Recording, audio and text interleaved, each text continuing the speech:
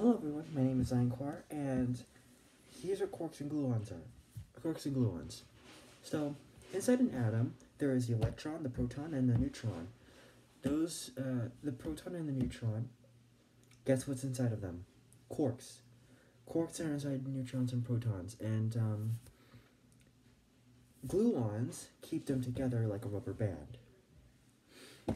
There are three, um, think actually there's technically more than more than three um, quarks, but and they add up to three quarks. But anyway, three quarks. They're different quarks. Um, the ones that you recognize are well, that's in the that's in a proton and a neutron is up and down, and the electron is actually something known as a lepton. Bonus information a lepton is a particle uh, that you know of called the electron. Uh, sorry, the lepton.